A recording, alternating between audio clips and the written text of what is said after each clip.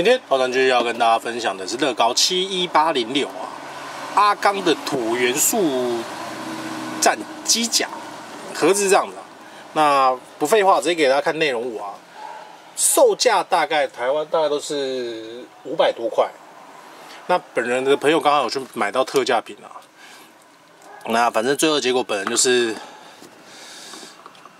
反正大概也是三三百多块拿到，算蛮便宜的一组啊。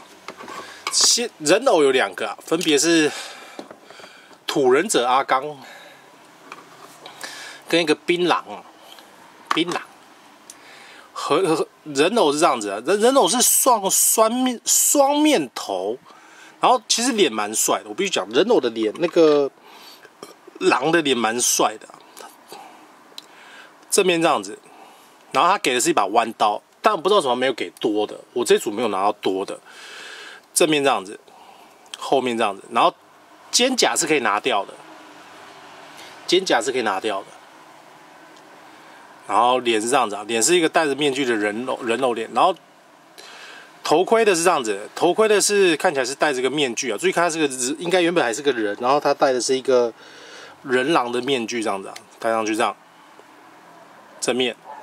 侧面，说真的，你拿一个戴一个机穿穿呃。带上一个机甲，然后去打一个这样子的人，我想应该打得过吧。然后阿刚这样子，正面、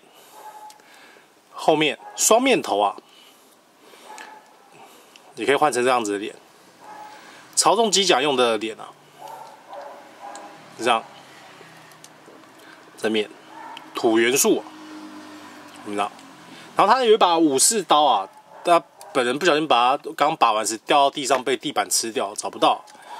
原本有一把金色武士刀，它可以拿，然后可以拿或者是别在这里啊，但本人就掉了就就算了。那再就介绍机甲，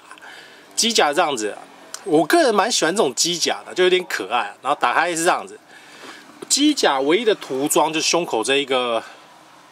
这一个零件啊，这个是一个印制的，这个我还蛮喜欢的，其他就没有什么。然后你只要把人装进去就可以操作、啊。正面这样子，后面这样子，有点像浩克破坏者啊。然后基本上的关节其实没有太多、啊。他们现在的我不是很喜欢这这种零件啊，这一个零件，这个零件手脚都可以用，然后可以很明显让机甲很明显的变大，很变很快。但是他就直接舍弃了这一个所谓的手肘这个功能，或者是脚踝那个功能。我个人是。呃，我个人不爱啊，这个这个零件很常在那个小型的机甲上用到，有点可，我个人不爱啊。但反正现在就主打一个便便便便捷性啊，这是球形关节，手肘呃肩膀是球形关节，手掌这算是个手掌可以打开啊，膝盖可以推，脚掌的关节可以，所以它其实可以开成这样子，可动范围其实蛮大，然后看起来都有那种。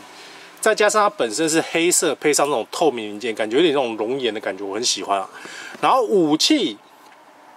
官方的版本其实是这一个，拔不起来。它的黑色零件是装在中间啊，这是官方的版本。但我可以跟你讲，基本上装，我可以给大家看它装上官方的版本后，